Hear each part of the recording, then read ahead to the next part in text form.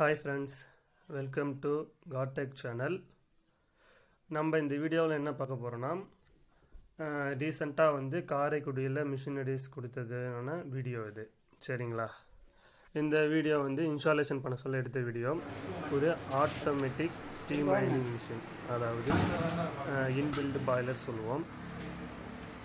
இந்த வீடியோவில் பார்த்தீங்கன்னா நம்ம வந்து ஃபங்க்ஷன் எல்லாம் ஆட்டோமேட்டிக்காகவே இருக்கிற மாதிரி இந்த மிஷினரிஸ் இருக்கும் பட் இந்த மிஷின் பார்த்தீங்கன்னா ஒரு சிங்கிள் மேன் அயன் மட்டும் டேபிள் ஒரு நியூவாக ஒரு லாண்ட்ரி பிஸ்னஸ் ஸ்டார்ட் பண்ணுறீங்க அப்படின்னா இந்த டேபிள் எடுத்து நீங்கள் பண்ணிங்கன்னா நல்லாயிருக்கும்.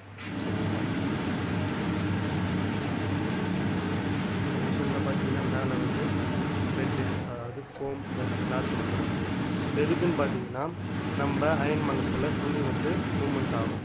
அது மூமெண்ட் ஆகும் பாட்டம் காலில் பார்த்தீங்கன்னா கடல் பண்ணும் பேடல் பண்ண சொல்லணும்னா துணியை வந்து இழுத்து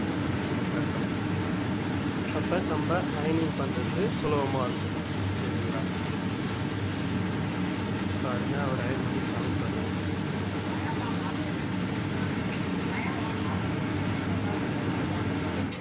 நீங்கள் எந்த ஏரியாவில் இருந்தாலும் பரவாயில்ல. நீங்கள் லாண்ட்ரி பிஸ்னஸ் ஸ்டார்ட் பண்ணுறீங்கன்னா ஸ்க்ரீனில் இருக்கிற நம்பருக்கு கால் பண்ணுங்கள் நம்ம ஸ்டீம் மிஷின் வந்து மேனுஃபேக்சர் சென்னையில். நீங்கள் கால் பண்ணிங்கன்னா நீங்கள் எந்த ஏரியாவாக இருந்தாலும் பரவாயில்ல. நம்ம மிஷினரி சப்ளை பண்ண ரெடியாக இருக்கும்.